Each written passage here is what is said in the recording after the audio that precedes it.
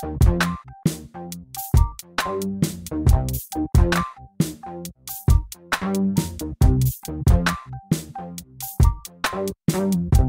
merhaba arkadaşlar. Pasifik kanalına hepiniz hoş geldiniz. Bugün sizlere mobilde free kick nasıl atılır bunun hakkında bilgi vereceğim.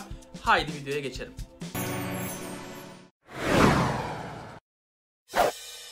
Şimdi arkadaşlar aslında 3 tane yöntem var mı? Var ama ben ilk ilk önce 2 tanesini söyleyeceğim sizlere.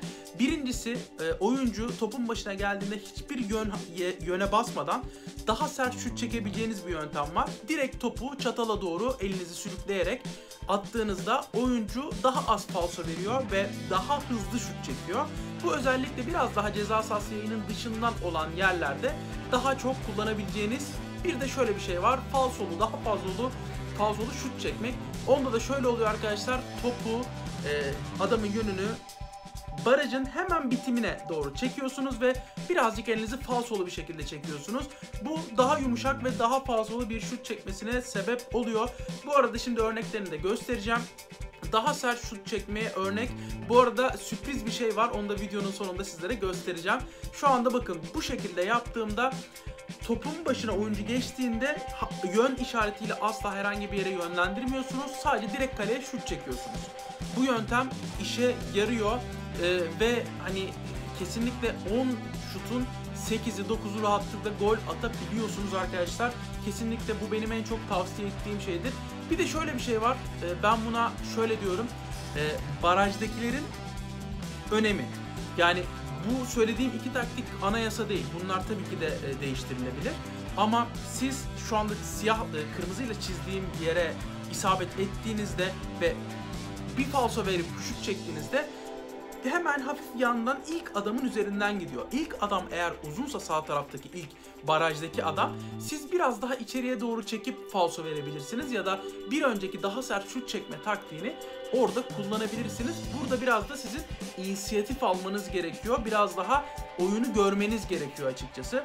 Bakın buradan biraz daha içeriden aldırdım ve golü attım arkadaşlar. Ee, bu arada sürpriz de şu. Bilmiyorum fark ediyor musunuz ama Lindelöf'le Lindelöf'le golü atıyorum. Yani Manchester United'da oynayan stoperle.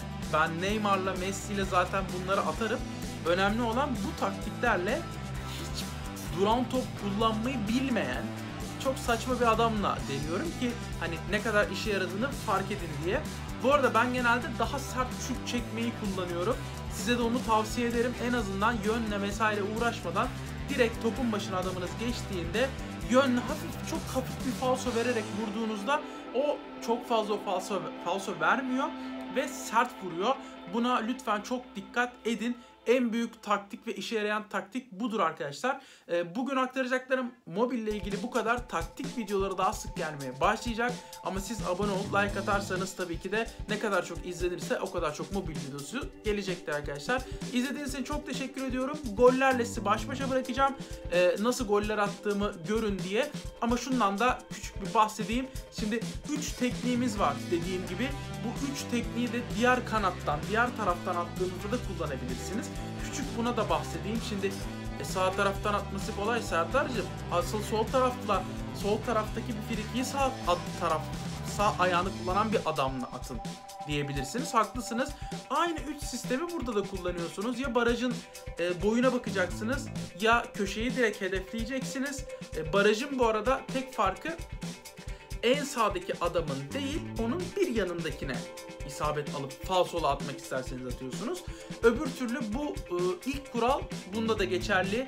Hiç oyuncunun yönünü işaretlemeyip direkt şut çekmeye yaparsanız da sert bir şekilde köşeye gönderiyor ki videolarda zaten rahatlıkla görebilirsiniz.